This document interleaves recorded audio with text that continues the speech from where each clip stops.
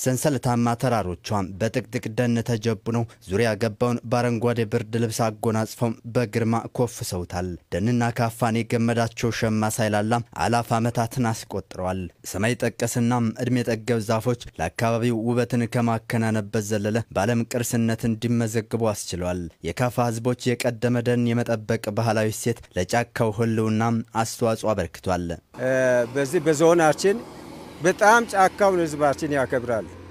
ዝም ብሎ ገብቶ ገጀራ ይዞ መጥረባ ይዞ ይህንን ባህላዊ ጫካዎቹን አይቆርጥም። ቤት መስራት ሲፈልግ አስፈቅዶ ማመልከቻ አስገብቶ ስንት እንጨት ቆርጦ እንደሚጠቀም በዛ ነው የሚጠቀመው። ዝም ብሎ ገብቶ ማንም አይቆርጥም፣ ማንም አይጠቀምም። በፍቃድ አንድ ቤት ለመስራት ምን ያህል እንጨትና ምን አረግ እንደሚያስፈልግ እሱን አስፈቅዶ እኛም ፈቅደን ደብዳቤ ሰጥተን ቀን ሰጥተን በዚህ አንጻር ነው እንግዲህ አሁን ህዝቡ እየተጠቀመ ያለው። ፍቃድ ያልጠየቀ ሰው እንግዲህ ይቀጣል። መቀጫው አለ።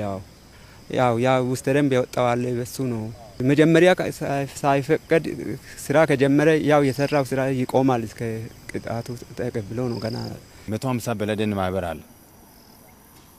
መቶ ሀምሳ በለደን ማህበር ከአርባ አንድ ሺህ በላይ የተደራጁ ይጠብቁ አሉ። እነሱም ደግሞ 152 ሺህ ሄክታር በላይ እንደ ዞን ሲታይ conserve የሚያደርጉት አለ under PFM አድርጎ ማለት ነው። እነዛ የራሳቸው እቅድ አለ፣ የራሳቸው የስራ calendar አላቸው። እንዲሁም ቢያንስ እኛ በአመት ከ14 ሺህ ሄክታር በላይ ይተክላሉ። በደን ሀብት ክዋኔ የሰላ አበርክቶ እንዳለው የሚነገርለት የካፋ ዞን የአካባቢው ስነ ምህዳር ለኑሮ ምቹ ስለመሆኑ ያየ ይመሰክራል። ተወራርሶ የመጣው ባህል ደግሞ ጉልህ ሚና አበርክቷል። እና አሁን በእኛ በካፋ ደጆ ነው የሚባለው ከብት ምናምን ይታረዳል፣ ጫካው ይመረቃል። ምርቃት የሚያደርጉ ሽማግሌዎቹ ትልልቅ ሰዎች አሉ። በክብር ነው እንግዲህ አሁን እዛ የሚደረግ ውስጥ ላይ አንድ አረግ አይቆረጥም። እሱ የሚደረግበት አካባቢ አረግ አይቆረጥም፣ አይመነጠርም። ጥቅጥቅ ያለ ጫካ ሆኖ ነው ዝም ብሎ የሚቀመጠው። የምናስታውሰው እንግዲህ አባቶቻችን ተከትለን ስንሄድ እቺ ቀጥ ያለችውን እንዳትቆርጡ፣ እንዲያድግ አድርጉ፣ እንዳታጠፉ ለእናንተም የሚሆን ነው። ይሄ የሌለበት ቦታ ካገኘው ደግሞ የፍሬ እንትን የበቀለውን እዛ ትክል ነው የሚለው ይመክራል። ዩኔስኮ ላይም ሲመዘገብ የጥበቃ ባህሉ ነው እንዲመዘገብ ምክንያት የሆነው። ደጋ አካባቢ ብትሄድ ኮቦ ይላሉ። ኮቦ system የሚሉት አለ፣ ደጀ system የሚሉት አለ። ከዚያም አልፎ ጉዶ የሚሉትም አለ። በጣም conserve ያደርጉታል። የካፋ ሕዝብ እያንዳንዷ የህይወት ፈቅታውና የዕለት ኑሮ እንቅስቃሴው ከነዚህ ጥቅጥቅ ደኖች ጋር የተሰናሰለና የአይኑ ብሌኖችም ናቸው። እንግዲህ ለልጆቻችን የምናወርሰው ይህንን አላማ ነው። ጫካ እንግዲህ ጫካ ማለት ነፍስ ነው ለእኛ። እኛ እዛ ውስጥ ብዙ ጥቅሞችን እናገኛለን። በውስጡ ቡና አለን፣ ኮሮርማ አለ፣ ጥምዝ አለ፣ ቃፎ ባህላዊ ቃፎቹ ይሰቀላሉ። እናም እዛ ውስጥ ያለ ፍራፍሬዎቹ እንኳን ለተራበ ሰው ቀለብ ነው የሚሆኑት። የቦንጋ በግ የሚባለው አዲ አካባቢ ሄደህ ብትጠይቅ ቦቅ አካባቢ የደኑ ውጤት እንደሆነ ነው። የደኑ ሳር በመብላት ነው ያጣፋጭ ስጋ የሚያገኘው።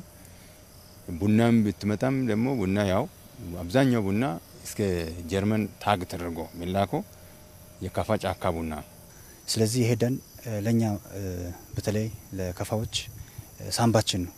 እንደ አይን ብሌን የምንጠብቀው ትልቅ ገጸ በረከት ወይም የታደልነን ለመንፈስ ሐሴትን የሚያጎናጽፍ የአበቦች ሽታም እንዲሁም ጆሮ ገብ የሆኑ የወፎች ጦመ ዝማሬ ከዚህ ጫካ ውስጥ ይንቆረቆራሉ። ነፍስ ማለት ጫካ ነው። ጥሩ አየር የሚሰጠው ከዛ ውስጥ ብዙ ነገር የምናገኘው ኬሚካል ያልገባ ቡና ከዛ ውስጥ እንግዲህ የሱ ጠረኑ ብቻ ሽታው ብቻ ከሌላ እንትን ነው የሚበልጠው። ጫካ ውስጥ ስትገባ ጠረኑ ሽታው በጣም ነው ደስ ደስ የሚለው ከሽታው ይበልጣል።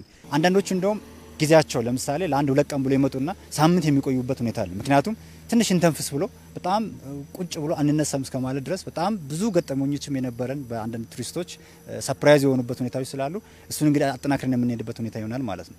ያው አረንጓዴ ልማት ከዚህ ወደ ላይ ሄደ እንጂ ከላይ ወደ ታች የሚመጣ አይደለም ለእኛ ማለት ነው። ምክንያቱም ሰው ይጠብቃል፣ ይተክላል። አንተ ሳትናገር ራሱ የሚተክለው ስለዚህ አሁን እኛ በክረምቱም አሁንም ተከላ ተጀምሯል። ያው ወቅቱም እነሱ ያውቁታል። ተከላ ጀምሮ እንጠሎ ገዋታ ተከላ ጀምሮ አሉ።